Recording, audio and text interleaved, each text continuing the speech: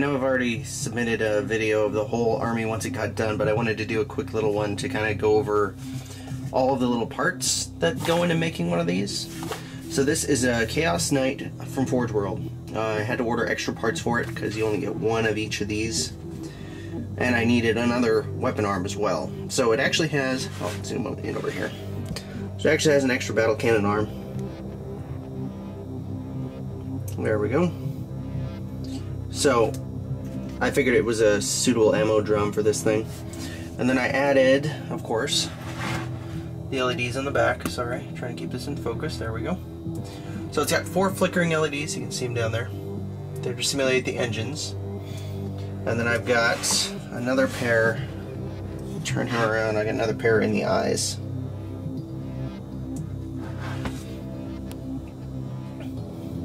So let me quickly turn off the lights here if I can reach them without knocking everything over. As I dance on one foot, there we go. Now you can better see the flicker of the LEDs. It's actually pretty good because you can see all of the little engine stuff in the corners. I actually drilled out each and every one of those holes. Had a little help. I drilled out the one in this one, but the, the other five I didn't. His eyes are a little more identifiable too, but the really interesting part is I was able to put in batteries right under here, two double A's. So the main switch is underneath. Let me turn the lights back on and show you the really cool stuff. Whoa, as we die from blindness. So I had a question of whether or not to leave the motors on for these. There are actual motors in here.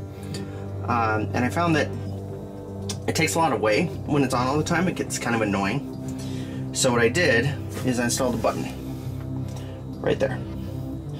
So let me turn that on really quick. So it's pretty cool. Very, very identifiable, very loud. Um, but it's a nice tactile feedback because you bring this to the table and you're like, ooh, that's cool, that has LEDs in it. Uh, and then uh, I was at Adepticon this year. I basically walked around with this thing to show it off because it was just that cool.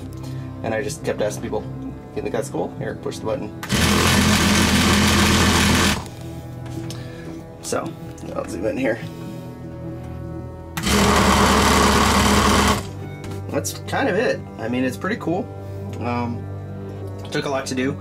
Most of the cabling is here, but it also runs down one leg to the batteries and down the other leg to the button.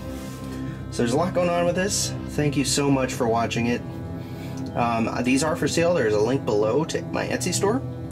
So if you want to pick one of these up, I took a lot of time to make each one. So bear that in mind with the price. But also bear in mind, I normally charge 330 for the regular Imperial Knight, just one of these painted. So that includes the model. And of course this one includes the model. I'm not going to sell $750 as a service. Heck with that. So if you're interested in getting one, definitely click the link below. But otherwise, thanks so much for watching. This was a really cool project. And I'll see you in the next one.